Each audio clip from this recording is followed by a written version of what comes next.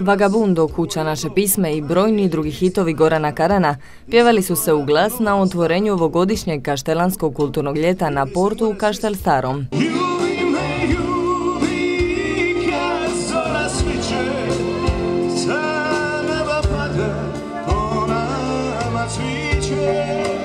Lipo je doma doći, lipo je pivat u krugu gdje si rasta zapravo, ovdje sam prvi 12 godina. Bi me mater svako lito ostavila u Kambelovcu, Kaštel Kambelovac i Kaštel Gumilica po jednom mjesec dana, tako da sam bio jedno vrijeme ovdje. Ima ulični kredibilitet do svoje 12. godine, poslije toga se to izgubilo. Evo nas večeras, ovdje je jedna krasna lučica napravljena zaista kako bi trebala biti u, svakoj, ovaj, u svakom manjem mjestu. E, velika čast, sviramo u Kaštelima, ja ne znam kad sam stvarno zadnji put svira javni koncert, ali znam da je to zapravo bilo negdje tamo počet. Prvi put smo jedan ozbiljan koncert imali kad je bilo ono, kad se počinjalo, znaš, kako ono, lipa se, eto, lipa se, lipa.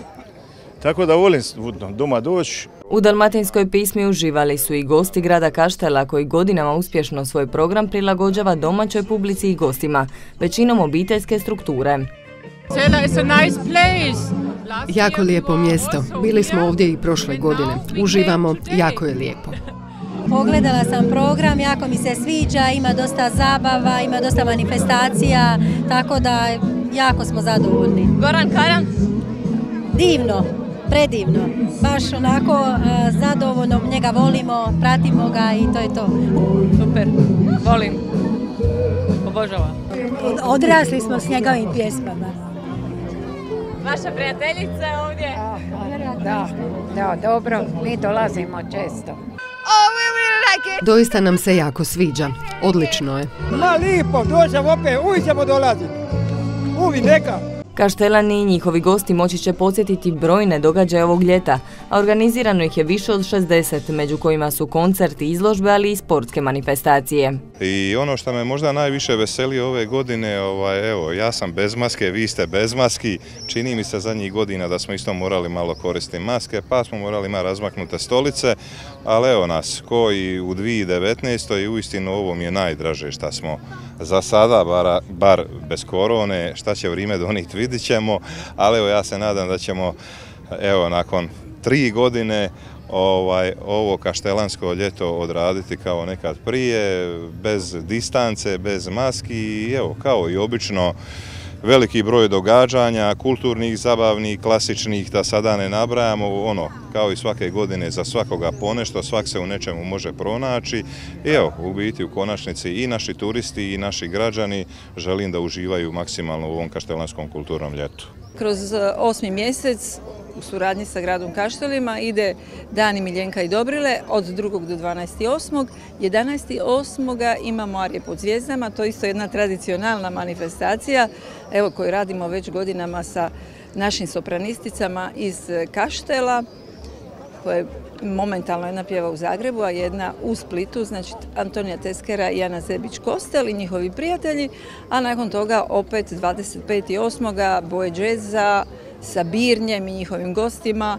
E, sve onako lijepe, glazbene, tradicijske i manifestacije zapravo s kojima smo htjeli postići da svi naši gosti, a i domaćini, e, mogu nešto pronaći za sebe, da kako i nakon samog završetka ljeta e, u organizaciji udruge Šušur, a u suradnji sa turističkom zajednicom imamo tradicionalno isto festival Šalše i Salse ljeto završava četvrtog, devetoga, petoga je naša šalša i salsa, tako da bit će događanje kroz cijelo ljeto, potrudit ćemo se i mislim da će svi biti zadovoljni.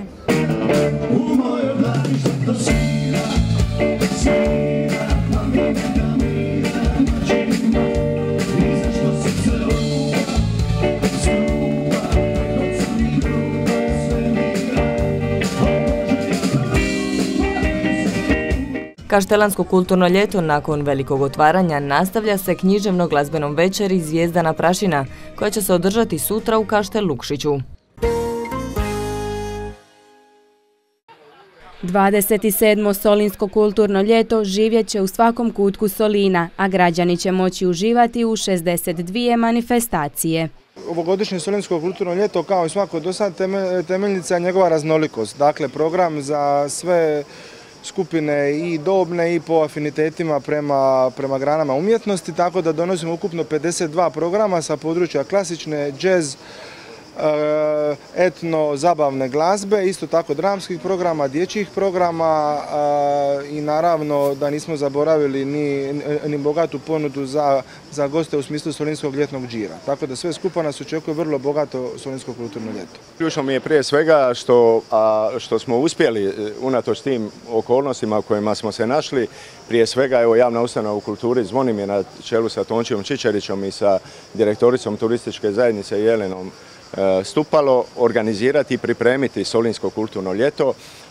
ono će, kao i svake godine, bez obzira na kratkoću vremena za pripremu, biti i bogato i raznovrsno, rekao bi za sve e, posjetitelje, za ukus svih posjetitelja. Tradicionalna kulturna manifestacija programom uvijek iznova oduševljava građane, a ove godine će moći uživati u 24 koncerta, 9 predstava te u mnogobrojnim književnim i dječjim događajima nastupi, klapski nastupi, što nastupi koncerti klasične glazbe, zabavne glazbe, izložbe slika, dramske predstave. U svakom slučaju vrlo raznovrsno Solinsko kulturno ljeto koje će se odvijati gro manifestacije u prekrasnom ambijentu Solinske gradine. Otvaranje će biti 8. srpnja e, nastupom e, gradske glazbe Zvonimir posvećeno našem Kljakoviću u povodom 90. godine njegovog rođenja, ali tijekom cijelog ljeta, pored gradine manifestacije će se odvijati i na drugim ambijentalnim solinskim pozornicima, prije svega u Saloni, znači vrtu Tuskulima, na Sirenama, amfiteatru, ovdje na Gospinu otoku, ali ono što me posebno veseli što sam istaknuo, to je da će dio događanja, kulturnih događanja, kao što je gradu Solinu koji se želi turistički pozicionirati, posebno i naše e, rubne dijelove, a to mislim prije svega na Vranjic, Mravnice i Kućine. U sklopu koncertnih događanja gostovat će mnoga poznata glazbena imena. Od glazbenih programa svakako se ističu koncerti Vesne Pisarović, Jasne Zlokić, Radoke Šverko, Tedija Spalata, marijači sastava Los Caballeros, tradicionalni koncert Ibrice Jusića koji već preko dva i po desetljeća gostuje u našem gradu. U jazz programu se ističu koncerti Elvisa Stanića, njegovog kvinteta, kao i kvarteta Nocturnal Four koji okuplja glazbenike iz Europe i Sjedinjenih američkih država. U klasičnom glazbenom programu mogu spomenuti koncert Dubrovačkog simfonijskog orkestra i pijanista Marina Limića, zatim koncert ansambla Ars Longa iz Zagreba i Zagrebačkog kvarteta i tako, još niz drugih i filmskih programa, sve u svemu mislim da će za sve naše goste se naći po nešto. Organizatori su istaknuli kako će ove godine u centar Solina dovesti i Splitski festival. U okviru glazbenog programa, osim e, naših redovnih produkcija, imamo i suradnju sa Splitskim festivalom gdje ćemo prirediti jednu večer Splitskog festivala u Gradini na kojoj će nastupiti brojni izvođači koji su obilježili i ovu, ali i protekle godine festivala na prokurativama. Gradska glazba Zvonimir za vikend će otvoriti Solinsko ljeto koje će trajati do 3. rujna, a organizatori su otkrili kako će građane velikim koncertom počastiti i na dan grada. To je što se događa iza Solinskog kulturnog ljeta, dakle u programu proslave e, Blagdana Male Gospije Dana grada Solina ćemo isto pripremiti bogati kulturni program a između ostaloga je veliki koncert 7.9. Još izvođača ovaj, nećemo iznijeti javno, ali u pripremi je i to. Evo, kad se uputi kulturno ljeto, onda se bacamo i na organizaciju tog dijela. Koristim priliku pozvati sve Solinjanke i Solinjane i naravno brojne goste koje smo mi svojim doista bogatim kulturnim i kvalitetnim programom naviknuli na izvrsnost, da i ove godine dođu posjete gradinu i druge lokalitete i vjerujem da će uživati u programu Solinskog kulturnog ljeta. U sklopu programa održat će se i Čubijevi dani smija kao i dvije večeri Dalmacije film festivala, a cjelokupni program može se pogledati na stranicama grada i turističke zajednice. Koncertom Đanija Maršana i Klape Munita iz Zadra sinoć je otvorena ljetna pozornica Tvrđave Klis. Najprije ambijent je toliko fascinantan da čovjek jednostavno ponesen sa ovim predivnim ponavljam, ambijentom, mora dobro i zapivati. Ja ću od svega srca to i nastaviti napraviti. Jeste li nastupali do sada na Kliškoj tvrđavi i ova nova pozornica, koliko vam daje novu inspiraciju? Apsolutno daje, nisam nikad do sada imao tu čast, ali poznajući povijesnu, povijesni značaj ove tvrđave, imat će malo i tremu, ali ja ću je nadvladati. U sklapu Munita kakav repertoar očekujemo? Znate, toliko sam u tih 50 godina karijere ovaj, napisao pjesama, ispjevao, da će biti teško baš izdvojiti, ne znam, po najbolje pojedinačno gledajući želje publike. Ja sam odabrao, napravio sam neki moj vlastiti izbor, pa se nadam evo, da će to publika razumjeti i prihvatiti. Jeste li nakon ove dvije godine pandemije napokon dočekali nastupe uživa? Apsolutno. E, naravno kao i svi glazbenici ja sam jedva dočeka da se to dogodi i drago mi je da su ove godine e, uslijedili doista pozivi e, koje kojima se nisam ni nadao, tako da doista kao, kao rijetko kojih e, deseta godina za njih. Tako da evo i to je pokazatelj da me ljudi nisu zaboravili recimo. Istina, da. Prvi put smo na Kliškoj tvrđavi, iako prije nekoliko godina smo bili pozvani na e, smotru klapa koja se tu dugi niz godina održava, međutim jaka bura je spriječila pa je bilo čini mi se u domu kulture ili vatrogasnom domu, tako da smo prvi put u ovome predivnom ambijentu. Koliko uopće je zahtjevno za klapu i za nastup ovako vjetrovito mjesto koje je prekrasno, ali koliko zahtjevno za ton? E, dobro pitanje, vjetar nikad ne pomaže ako se radi o pjevanju naravno na mikrofone, jeli, što mi kažemo na struju, ali eto nadamo se da neće previše smeta, snaćemo se nekako. Ovaj prekrasan ambijent e, je li digne i da novu snagu, novu energiju za još bolje pjevanje? Apsolutno, apsolutno. Nama je jako motivirajuće kad imamo ovako, ovakav ambijent da taj pogled na otvoreno ne može ljepše. Općina Klis je opet europskim sredstvima uredila sve za još bolji položaj i same općine, ali i same tvrđave. Pa evo, ovo je projekt ljetne pozornice, ali ne samo ljetne pozornice, nego i obnova Topničke vojane, malog kvartira, trećeg obzida, ukupne vrijednosti 5,5 milijuna kuna. S tim da smo i ovaj dio koji je općina Klis trebala sufinancirati u iznosu od 15%, e, opet dobili pola toga od Ministarstva regionalnog razvoja. Drago mi je da je s nama večeras ovdje ministrica Ministarstva regionalnog uz Splitsko-Dalmatinsku županiju. To su institucije koje nas prate stalno u svim našim projektima i zahvalni smo i na tome. Načelniče, čeka nas i bogato kliško kulturno ljeto. Jeste li imali uopće problema za sve to organizirati? Pa jesmo, znate, to su uvijek nekakve moralne dileme. Dakle, platiti izvođača nešto više novaca ili napraviti neku cestu do ljudi koji, koji još cestu nemaju, to je uvijek ta moralna dilema. Naravno da moramo pokriti jedno i drugo. Međutim, ovogodišnje kličko kulturno ljeto je programski dobro, a s budžetom smo se uspjeli pokriti u nekakvim normalnim okvirima i vjerujem da će svi oni koji žele uživati. Ono što je specifično u odnosu na nekakva druga ljeta je što su svi naši, e, sva naša događanja, osim motopartija i klapa na klisu, e, besplatna. Dakle, ljudi mogu doći ovdje na tvrđavu, uživati u pogledu, uživati u ljetnim događanjima, bit će lijepih koncerata. Evo, nek pogledaj naše web stranice, vidjet će cijeli program. Među uzvanicima je bila ministrica regionalnog razvoja i fondova Europske unije kao i Splitsko-Dalmatinski dožupan te predstavnici drugih lokalnih samouprava. Ministrica Tramišak istaknula je kako je veliko zadovoljstvo biti na prekrasnoj tvrđavi na povijesnoj lokaciji. Evo čeka nas nova lijepa, uspješna ljetna sezona i ovdje u Klisu krećemo upravo sa otvaranjem jedne pozornice. Koliko će bitno ovako jednoj općini pomoći i za ovakve projekte? Kada govorimo naravno i o sredstvima iz fondova Europske unije u ovom kontekstu i, mehanizma i tu grada Splita, dakle vidimo da je ovo šire područje oko grada Splita koje je dio urbane aglomeracije i tekako imalo koristi od upravo korištenja ovih fondova i ovog mehanizma.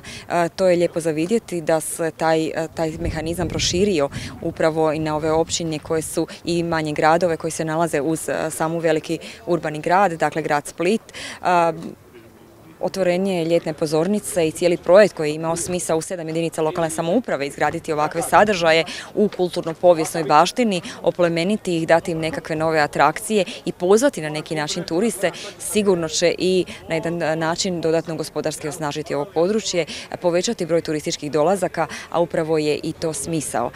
Znači, lijepo je vidjeti da se sredstva iz fondova koriste i za obnovu i očuvanje i kulturne baštine i doprinose upravo i tom gospodarskom sadržaju samih općina i samih gradova. Diljem Splitsko-Dalmatinske županije sad čekamo i tekako zanimljive manifestacije vezano za kulturu i za zabavu za turiste. Jeste zadovoljni? Pa je, večeras na Kliškoj tvrđavi otvaranje Kliškog otvorene, otvorene pozornice, ali Splitsko-Dalmatinska županija je sad blizu nekoga ciljanog, odnosno optimalnog ulaganja u kulturu. Mislim da iznad 2% je nešto što je korektno da se ulaže u kulturna događanja. Diljem županije su sad otvorene pozornice, vratili smo se skoro u onu godinu pred covid i to je izazov za nas još veći jer značajno moramo pojačati aktivnosti dolazeći na sve te manifestacije Erosonoga svijeta, preksinoć je završen Splitski festival, čeka nas također Romiški festival, čekaju nas brojne manifestacije po Zagorju, neko veće drumsko ljeto, cisko ljeto, E, diljem Makarske su također turističko-kulturne manifestacije. Mislim da je to ukorak sa turističkom sezonom i sa onim ciljevima koje smo postavili pred sebe, a to je obogatiti jednom turističkom, odnosno kulturnim događajima dodatnu turističku ponudu i ostvari vrhunski rezultat, ali umjetnost je nešto što je iznad svih naših života. Može se to tako kazati. Umjetnici često kažu da je umjetnost život bez suvišnih detalja. Prema tome, ovo je danas ipak jedna nadgradnja i večeras mi je zadovoljstvo što sam ime Županije ovdje na Teškoj tvrđavi. Domicilno stanovništvo prečesto sumnja da smo dorasli bijelom svijetu, kazao je dožupan Šošić, zaključivši da su sve ljepote ipak na Mediteranu i dalmatinskom kršu i kamenu. Sinj će tradicionalno postati središtem cijele Hrvatske početkom kolovoza jer se prvog vikenda tog mjeseca održava Viteška alka. Sponosni na našu alku, ne samo na području naše županije ili Hrvatske, nego i šire. Znate koliko je alka kao tradicijska i kulturološka manifestacija bitna cijeloj Europi. Da je i Versaj, i Šembrun čujem danas od predsjednika i mnoge druge jedna od najbitnijih e, institucija u svijetu žele Alku imati u svom dvorištu. Splitsko-dalmatinska županija ponosan je pokrovitelj Sinjske Alke, ističe župan Boban.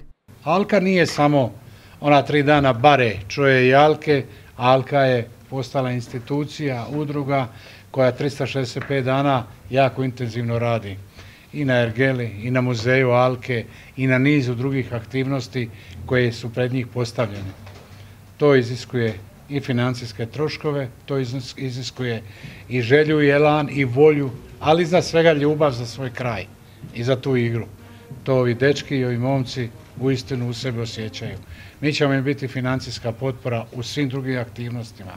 Organizatori kažu kako Alkom žele prikazati kulturno bogatstvo hrvatskog naroda. Mislim da smo to uspjeli postići, ne samo sa ovim našim događanjima unutar e, Hrvatske, nego i sa našom aktivnošću koju imamo i međunarodno, dakle taj klaster mediteranskih viteških igara, suradnja sa sličnim udrugama e, u Mađarskoj, u Švicarskoj, e, naši planovi za promociju Alke i kulturnog turizma i kulture Hrvatske i u Versaju i u Beču. Mislim da su to projekti koji su značajni ne samo za alkarsko društvo, nego za cijelu Republiku Hrvatsku. Viteško nadmetanje je predvodnik priče i o klasteru viteških mediteranskih igara kojim bi se, kako samo ime kaže, na jednom mjestu spojile sve viteške igre s Mediterana. U tom pravcu radimo i dalje. Trebali smo već biti na Sardini, ali ako Bog da u deveti mjesec ćemo biti tamo kod prijatelja iz Sardinije, tada su nam bili ovdje prijatelji iz Grčke i stvarajući taj klaster na Mediteranu pod vodstvom naših alkara i naše alke ćemo uistinu postati prepoznatljivi diljem cijele zemaljske kugle. Sinjani tradiciju njeguju još od 18. stoljeća, a pripreme za ovogodišnju alku već su u punom jeku. A pripreme teku običajno, dakle e, još par dana pa će alkari izaći na alkarsko trkalište, počeva onaj završni dio priprema, da će odrediti kopljanike i mislim da nemamo nikakvih problema što se tiče priprema. Nakon dvije pandemijske godine manifestacija će se održati pred punim tribinama, pa organizatori očekuju šušur kakav samo sinjima tih dana.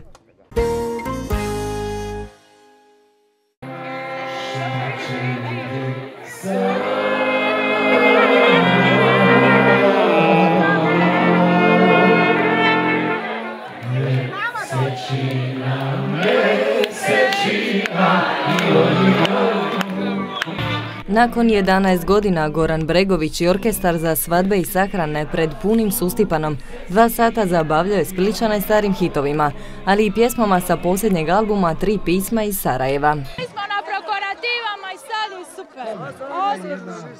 San sustipanske noći, svake godine sve bolje i bolje. Napile se ulice, jer na tebe misli sunce napile. Savršeno se zabavljamo, odličan je koncert. Koje su vam neke najdraže pjesme? Pa inače volim ovaj ciganski melus, tako da nema neki prioritet, sve su super. Mi fešćamo za nas, a trebamo biti na televiziji. Hvala mi. Odlično, odlično. Došla sam malo s prijateljice.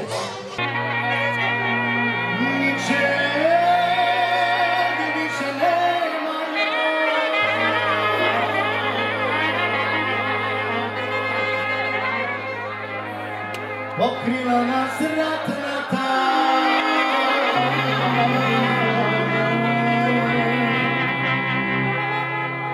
Pokrila nas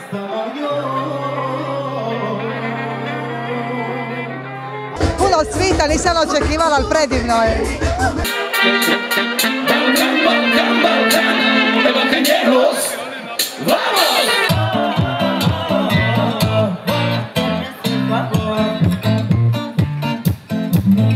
Odlični su. Naročito ove dvije bugarke sa strane, ono, žene su kraljice. Nezgoda sa prstom Bregu ipak nije spriječila da održi spektakularan koncert, a publici je ispričao i što se dogodilo.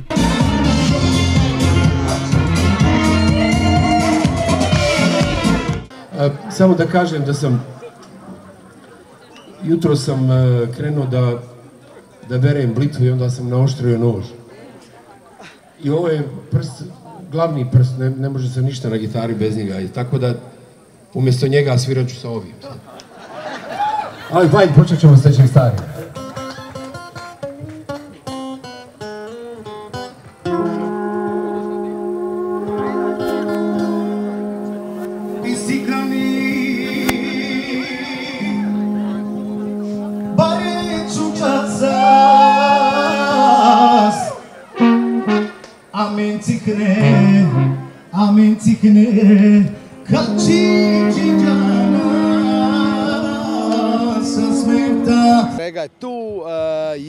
Drago da se vratio nazad u Split i vežu ga jako puno uspomena.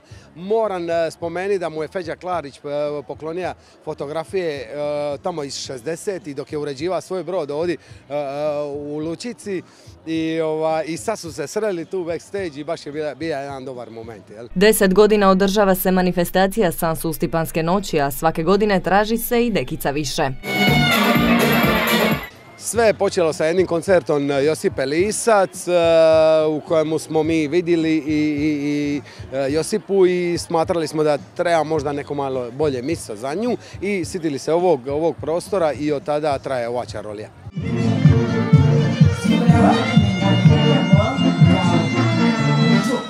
Ono što im je najteže nadmašiti je prijašnje koncerte u organizacijskom smislu, ali i onom dovođenja etabliranih izvođača. Najbitnije od svega je da nas publika prepoznaje i da nas e, posjećuje i da nas e, podržava. I to je najveća stvar i nešto na- najviše što možeš sebi poželiti? Kada, kada radiš e, manifestacije. Sve ovo drugo su stvari koje jako brzo završe i zaboraviš na sve probleme koje si, si zatekao putem dok si radija e, koncert. Kaže, osim posjetiteljima, poseban doživljaj je izvođačima doći i nastupiti na Sustipanu, što im predstavlja izazov. Nova imena za sljedeće izdanje manifestacije San Sustipanske noći nije htio otkrivati, stoga će još neko vrijeme Spličani i njihovi gosti čekati nove najave koncerata uz lijepe uspomene na ovogodišnje izvođače, Urbana i Bregu.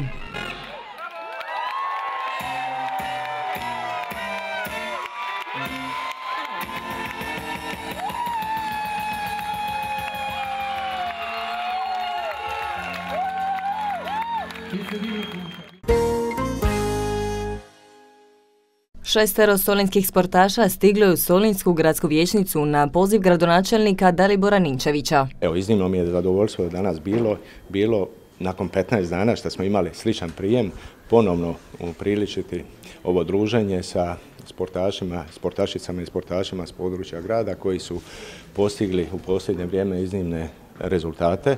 Evo, prije svega, malo sam šali, malo ozbilje rekao da bi mogli praktično evo, svaki tjedan imati ovakve prijeme s obzirom na stvarno vrhunske rezultate koji postižu ne samo više na nacionalnoj, nego već prije svega na europskoj i svjetskoj razini. Srebro sa mediteranskih igara u Alžiru brojnim medaljama pridodala je judašica Ana Viktorija Puljiz, a njezina klubska kolegica Lara Cvjetko osvojila je peto mjesto. Pa jesam da mi je neko to rekao na početku godine, ono, vjerojatno mu ne bi vjerovala, tako da ono, svaki rezultat je nekako pokazatelj teškog rada i nekako nagrada za sve to i za svaki sam prezahvalna. Pa nakon svih ovih e, turnira rezultata, idući turnir je Grand Prix Zagreb idući tjedan, nakon toga svjetsko juniorsko prvenstvo. Sam zadovoljna rezultatima kojima sam postigla do sada i ove godine je počela super, e, zatim malo ozljeda zaustavila i sad se vraćam, mislim da sam se potpunosti vratila i jako sam zadovoljna što sam prešla u Solin i što ovdje mogu nastaviti trenirati kvalitetno i raditi rezultate i evo jedva čekam da vidim što nas čeka i veselim se daljnjim uspjesima i trenzima. Gibraltarski tjesnac nedavno je preplivala daljinska plivačica Dina Levačić i postala prva Hrvatica u povijesti koja je u tome uspjela. A evo, uvijek mi je drago kad se tu kod kuće, znači u celinu prepoznamo i radi, trudi nekakav uspjeh. A za budućnost, evo, stala su mi još dva od ovih velikih sedam. Nadam se da će to u nekom skoro vrijeme se izrealizira, da ću dobiti termin i priliku da zaplivam. Pa onda nekako kad je sve na meni je lakše, a ja ću nastaviti trenirati, da budem spremna kad dođe taj trenutak da zaplivam, da, da to odradim kako treba. Nakon pobjede protiv Marokanca najboljeg hrvatskog kickboksača Antonija Plazibata očekuje borba za svjetsku titulu. Da sad čekam da zalječim kolino do kraja, to je vjerojatno još par tjedana i onda nazad u Amsterdam odradi pripreme i to je to. Tuđi se svaki dan dok ne dođe borba, onda se tuci opet i, i gotovo, nema neke velike logike. A borba će biti sa njim najvjerojatnije zasa kao sve stoji u drugi mjesec, vjerojatno kraj drugoga neće prije. I kad to odradim, onda ću moći ja izbjegavati, raditi šta hoću, onda će se mene pita sve, na njega više, tako da napokon ću ja biti, kao se to kaže, A strana. Prvo se mene pita, pa drugoga. Ništa manje važna nisu ni zlatna medalja u rukometu na 24. olimpijskim igrama gluhih u Brazilu, kojom se između ostalih okitio Pero Jukić, a Mate Spahić sa svojom ekipom osvojio je prvo mjesto na državnom prvenstvu u cagebolu. Voda mi jako znači ova podrška grada i trudim se doprinijeti sportskoj lokalnoj zajednici, gradu, županiji, državi i drago mi je što se to uvažava i nadam se da će se tako i dalje nastaviti. Sportašima je grad Solim osim statue udjelio i novčanu nagradu, za što su posebno izdvojena sredstva iz proračuna.